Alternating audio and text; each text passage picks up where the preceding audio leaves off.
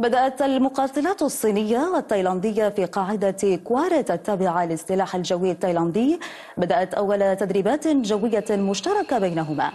وشارك في التدريبات التي أطلق عليها اسم ضربة الصقر 2015 مقاتلات F-16 وطائرات صينية من طراز جي 10 وذكرت وزارة الدفاع الصينية في بيان لها أن الهدف من هذه التدريبات هو تعزيز التفاهم المتبادل بين القوات الجوية للبلدين وتعميق التعاون بينهما.